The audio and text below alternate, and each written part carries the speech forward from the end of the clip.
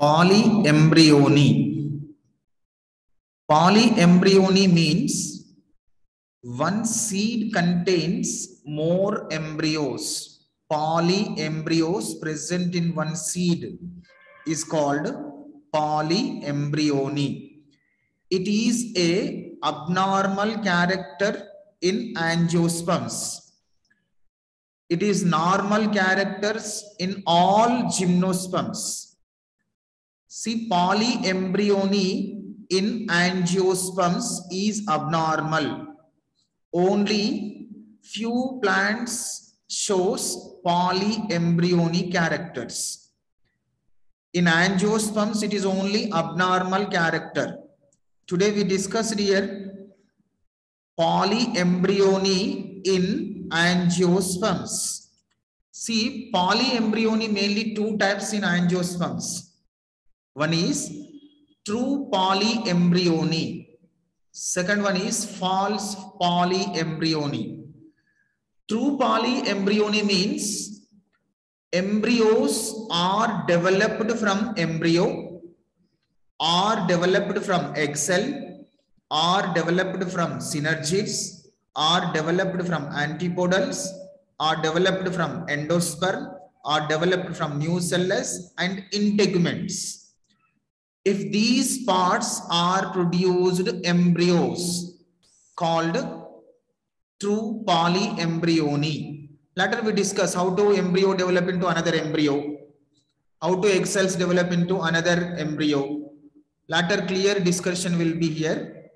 True polyembryony means embryos, more or polyembryos developed from embryo, developed from egg cells, developed from synergids, developed from antipodals, developed from endosperm, nucellus, and integuments. If these parts are developed into embryos is called true polyembryony. Second one is false polyembryony. The name is given false. They are look like a embryo-like structure, but not true embryos. They are look like a embryo-like structure, but not true embryos. They cannot develop into plantlets. But the structure, that embryo structure look like a embryo, true embryo-like structure is called false polyembryony. See, these false polyembryonies are developed from more embryo-like structures. More embryo-like structures are developed from nucellus and new cells fusion. But that embryos not true embryos. But that embryos not look like a, not act as a true embryos, but they look like a embryos, but they cannot develop into plantlets. They are developed from which part of the ovule? Nucellus. New Nucellus is the diploid condition. The diploid condition, nucellus, develop into embryo-like structure. That embryo-like structure is called false polyembryony and new cells fusion also. The cells, nucellus cells also fuse to form zygote like embryos like structure. But these embryos cannot develop into plantlets. So these developed embryo like structures are called false polyembryony. See children, in true polyembryony also nucellus tissues are developed as a true, true embryos they develop into embryo-like structure. That embryos develop into plantlet. It is the true polyembryony. In false polyembryony, same the nucellus cells also develop into embryo-like structures, not embryos. Embryo-like structures, not embryos. So, false polyembryony nucellus cells or embryos cannot develop into plantlet. In true polyembryony, the nucellus cells develop into true embryos, the true embryos develop into plantlet. It is the main difference between the new nucellus, true polyembryony and false polyembryony. Now we discuss here it is, what are the types of true polyembryony? See here it is. The true polyembryony done by following steps. First is, first type is cleavage polyembryony cleavage polyembryony in Erythronium, Orchidaceae, Santalaceae, Ulfia. These are the example plants and families. And synergids, sometimes synergids also develop into embryos. Examples, Argemone, Sagittaria, Aristolochia. These are the plant names. And embryos developed from antipodals. Sometimes antipodals also develop into embryos. Example plant is Ulmus. Sometimes embryos developed from endosperm. Endosperm is the nutrient tissue, but sometimes it will happen. It act as a true embryos. Example plant is Trillium and Adventitive polyembryony. It Adventitive polyembryony in citrus and Opuntia. See, these are these all types belongs to true polyembryony. True polyembryo means these polyembryos can capable for the development of plantlet. Development of plantlet is called true polyembryony. Now, first we discussed how to cleavage polyembryony developed in angiosperms. See cleavage polyembryony.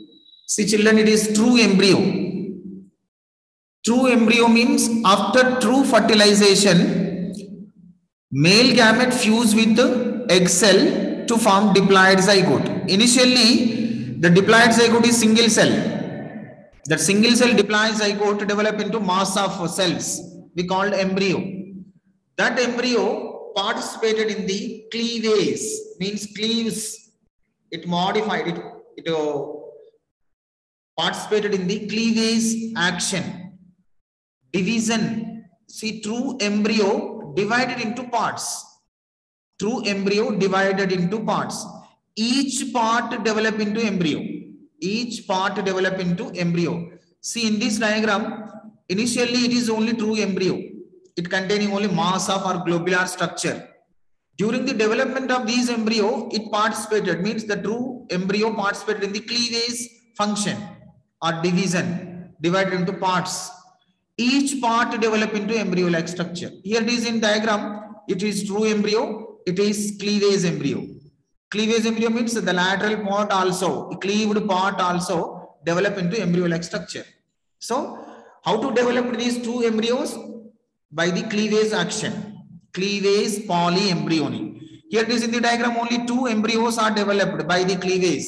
Sometimes more embryos also developed more cleavage functions also occurs in this true embryo. The true embryo cleaves into more number of fragments. Each fragment of true embryo develop into polyembryonic structure. It is also capable for the development of plantlet. So, how many embryos here it is? More embryos by the cleavage function. Which plants here example? Erythronium, Orchidaceae family, some plants Santalaceae and Ulfia plant. These are the example for the cleavage polyembryony. The next one is synergid polyembryony. See children, generally the synergids are disappeared before fertilization or during the fertilization, maybe after fertilization. Synergids are completely degenerated from the embryo side. Sometimes sometimes means more than one pollen tube enter into the ovule. If one pollen tube enter into the ovule, it released only two male gametes. From the two male gametes, one male gamete fused with egg cell to form diploid zygote. Another male gamete fused with pen primary endosperm nucleus. It is normal fertilization. Sometimes more than one pollen tube means two pollen tubes, three pollen tubes enter into the ovule. If one pollen tube enter into the ovule, it released only two male gametes. If two pollen tube enter into the ovule, the two pollen tubes are released for male gametes. That extra male gametes are fertilized with synergid nucleus. More male gametes, extra male gametes are fertilized with synergid nucleus to form diploid zygote. Diploid zygote also develop into developed by synergid cells. By the fusion of male gamete with synergid nucleus to form embryo-like structure. That embryos are developed from which cells here it is? Synergids. So this Polyembryony is also called synergid polyembryony. When will happen? More than one pollen tube enter into the ovule, it will be happen. It will be happen means sometimes more pollen tubes are like two, three, four pollen tubes are enter into the ovule. That extra male gametes are fertilized with synergid nucleus. That synergid cells develop into embryo-like structure. It is also called true synergid polyembryony. Example, Argemone, Sagittaria, Aristolochia. These are the diagrams. And sometimes embryos from the antipodals. It is also applicable for the entry of more pollen tube into the ovule. Entry of more pollen tube. See children, generally evaporator, evaporators containing egg cell lateral synergids and antipodals present at the chalazal region of the embryo sac. Before fertilization or after fertilization, the antipodals are disappeared or degenerated in all types of embryos. Rarely in ulmus. More than one pollen tube enter into the embryo sac or enter into the ovule. That more pollen tube released more male gametes. That extra male gametes are fertilized with antipodal cells. That antipodal cells convert into embryo-like structure. It is also called true polyembryony from antipodals. When will happen it is if more than one pollen tube enter into the ovule, sometimes synergids develop into embryos-like structure. Sometimes antipodals also develop into embryo-like structures. The next one is embryos from endosperm. Generally, endosperm is diploid or triploid or pentaploid or nonaploid in structure. Generally, the endosperm function is supplies nutrients, supplies nutrients to the embryo. It is the main function. But in trillium, the endospermal cells may be triploid or diploid or pentaploid or nonaploid. These stages endosperm cells are develop into embryo-like structure at the chalazal region. See, endosperm is the nutrient tissue. The main function of endosperm, it supplies nutrients to the developed embryo. It is the main function. But in some plants of angiosperms, like in trillium, some endospermal cells also develop into embryo-like structure at the chalazal region. The chalazal region endosperm modified into embryo-like structure. So embryos developed from which part here it is? Endosperm. Sometimes micropylar region cells also develop into embryos. So these embryos are developed from endosperm. So this polyembryon is also called embryos from endosperm. And the next one is adventitive polyembryony. Adventitive polyembryony, it is the diagram children. Adventitive polyembryony, best example, citrus or opuntia, citrus and opuntia. See, during the fertilization, diploid zygote is formed by the true fertilization. In opuntia and citrus, the true zygote cannot develop into embryo, cannot develop into embryo it is disappeared or degenerated. Disappeared or degenerated.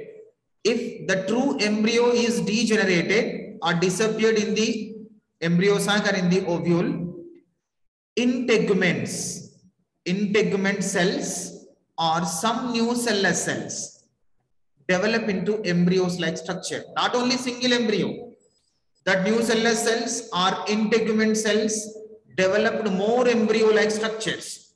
That embryos are developed into plantlet. Embryos are developed into plantlet. See, these embryos developed from which year it is?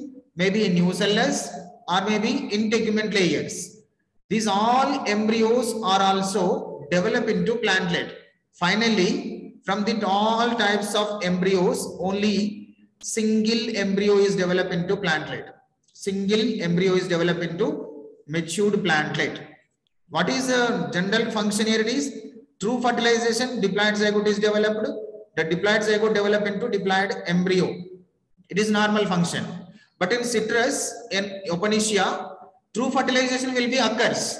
After true fertilization, the true embryo will be disappeared or degenerated. Later, from the integument cells or from the nucellar cells, more embryos are developed. Not false embryos, true embryos. True embryos are developed. The true embryos also develop into plantlets. From this all polyembryonies, true polyembryonies, only one embryo is developed into true plantlet. It is the adventitive polyembryony. These are the main types of polyembryony in angiosperms.